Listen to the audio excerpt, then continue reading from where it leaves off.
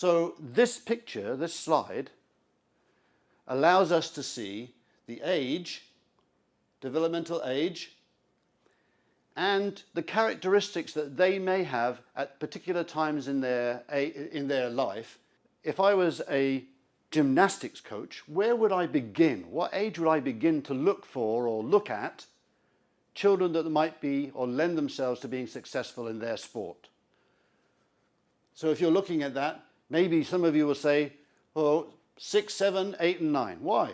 Because their suppleness will exist at that particular time, and without suppleness, uh, I don't know that you can go into gymnastics. I can't imagine myself at that age or any age being able to do a cartwheel, number one, but then do a cartwheel on a piece of wood that's four inches wide would be the kiss of death.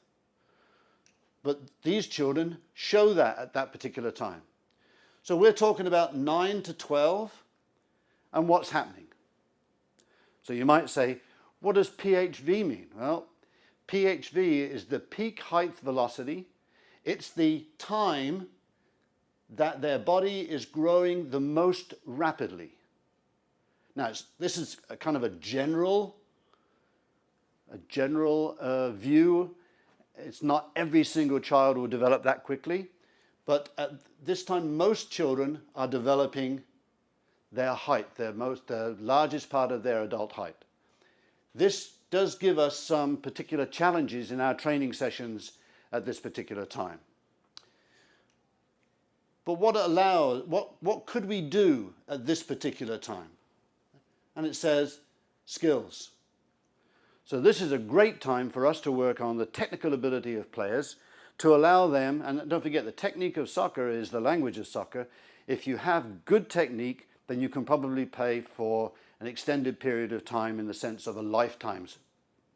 If, you, if, you, if your technique is not as good as it could be, it kind of shortens your life in soccer because people tend not to give you the ball if you don't if you're not able to give it back to them.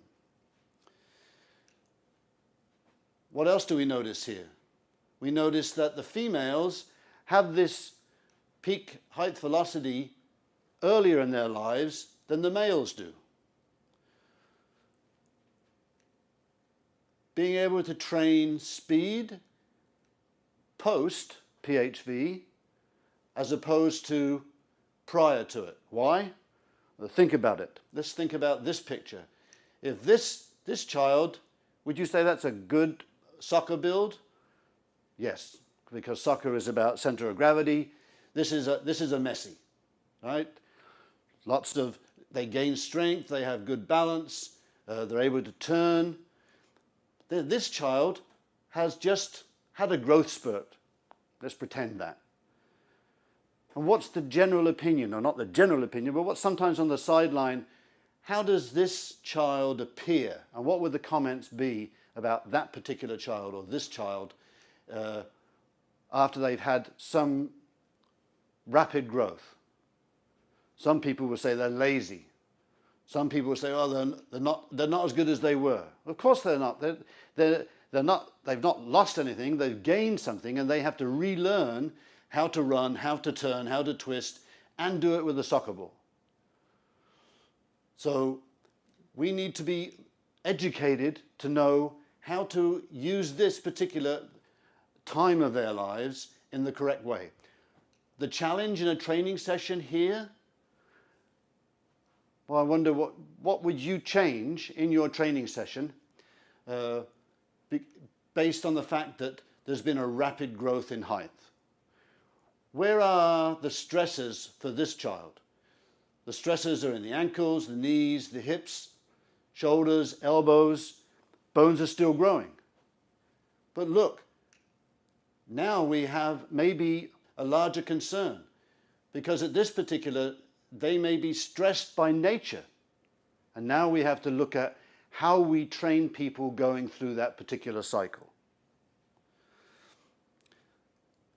strength training should come after that, uh, and this is strength training, we're looking at strength training there more in terms of the weight room as opposed to uh, resistance training or their own body weight.